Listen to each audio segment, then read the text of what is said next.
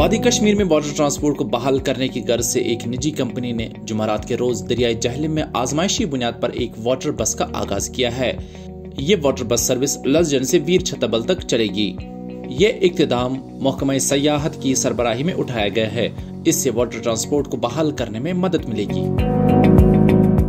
आप देखिए city roads बहुत कंजेस्टेड है, बहुत ट्रैफ़िक जैम रहता है। दिस इज़ द मतलब this was the only source of transport अगर हम down the line sixty years जाएँगे water transport was the only means of transport जिसमें कार्गो uh, ट्रांसपोर्ट भी होता था और पैसेंजर uh, ट्रांसपोर्ट uh, के लिए भी यूज़ होता था.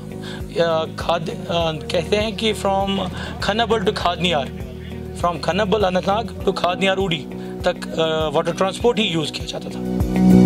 लोगों का सोशल मीडिया पर इस इकदाम का मिला जुला रद्द अमल सामने आया। कुछ का कहना है, लजन से लाल चौक तक वाटर बस का ट्रायल रन, क्या ये एक अच्छा कदम है या इससे रिवायती डोंगा और शिकारा को नुकसान पहुंचेगा, जिसकी जड़ें कश्मीर की सकाफत से जुड़ी हुई हैं? वहीं इस इकदाम के हामियों का कहना है कि तब्दीलियों और ईजादात को कबूल करना वक्त की ज़रूरत है।